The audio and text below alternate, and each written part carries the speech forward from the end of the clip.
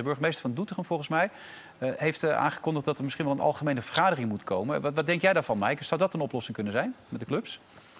Nou ja, ik denk dat Mark dat heel goed uitgezocht heeft. Hè? Dat je op een moment dat uh, er dingen niet regelmatig verlopen, ja, dan mag je dat aan de kaak stellen. En ja, de, deze burgemeester is juridisch onderlegd en die heeft gewoon een aantal dingen al, al boven water gekregen die hij gewoon discutabel vindt. En ja, volgens mij zijn daar, uh, maar daar zijn andere mensen voor, zijn daar al nadrukkelijk mee bezig. Maar wat mij vooral bezighoudt, en uh, misschien nog iemand daar een antwoord op geven, tot en met donderdag waren wij nog gepromoveerd. Dus het is best lastig, Johan, om aan te geven van, ja, waarom hebben jullie niet eerder aan de bel getrokken? Ja, de signalen waren zo ja, duidelijk. Maar, maar, Mike, jullie waren niet gepromoveerd. Dat hadden jullie jezelf wijsgemaakt op basis van geruchten uit Zeist. Maar niemand had dat tegen jullie verteld. Nee, dat klopt. En, dat kan ook en niet. nogmaals, ik had het veel verstandiger gevonden, die andere regeling. Maar deze regeling die behoorde wel degelijk tot de mogelijkheden. Want je had twee keuzes. Ja, Nee, het, enige wat, het enige waar jullie dus juridisch aan kunnen vechten... is inderdaad de chaos die de KNVB, Gudde en Decousseau ervan gemaakt hebben... door die negen stemmen bij tegenstemmers uh, te voegen.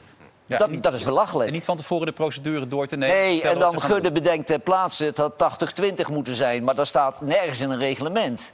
Ja, maar kan je je voorstellen, Johan, dat dat dan heel knullig overkomt... en dat je dan geïrriteerd raakt? Dat je, hè, Ado zakt weg in zijn stoel, wij veren op... En dan, oh ja, die negen stemmen worden ook meegeteld. Ja, uh, toen zakten wij weer weg in die stoel. Dat was bizar om mee te maken. Ik, had, ik wist niet wat ik zag. Nee, maar ik, dat, kijk, dat soort, dat soort reacties uh, is mooie tv. Maar ik vind, het, nou, het ik, vind het ook, ik vind het ook een beetje simpel als twee van die trainers daar helemaal uit hun dak gaan. Dan denk ik, uh, zijn dat nou leiders van een voetbalclub die zich zo laten gaan? Ja, ja, en die het hele seizoen bovenaan gestaan hebben. Met alle achter, allemaal ploegen die ons aan achtervolgen zijn. Zijn we stressbestendig gebleven en zijn we bovenaan gebleven. Hebben we periodetitels gewonnen. En nou willen we beloond worden met uh, 11 en 7 punten. Dus uh, ja, ik vind de, de, de, de, directie in Zeist, de directie in Zeist die heeft het mandaat om een beslissing te nemen. En die hebben deze beslissing genomen. Dan kun je een verkeerde vinden. Ik had ook de andere genomen. Maar ze hebben deze beslissing genomen. Ja. ja maar en dan kun je hoog of laag springen. Ik denk namelijk dat de juristen weinig kans hebben dat ze op het verenigingsrecht bij de KNVB... dat ze daar zich mee gaan bemoeien. En jullie burgemeester uh, is ook emotioneel betrokken... en die is niet juridisch onderlegd, maar die heeft in het bestuur van de basketbalbond uh, gezeten. Dus die weet ook wat van verenigingsrecht.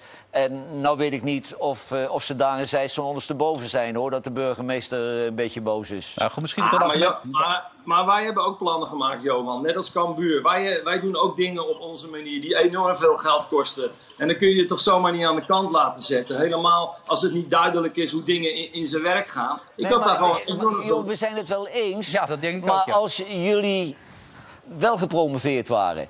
dan hadden wij hier zo'n... Uh, zo'n videocall gehad met de heren in Den Haag en bij RKC. Die zeiden, het is niet te geloven, we moeten nog negen wedstrijden spelen. We waren helemaal niet gedegradeerd, dus hebben we ons laten degraderen.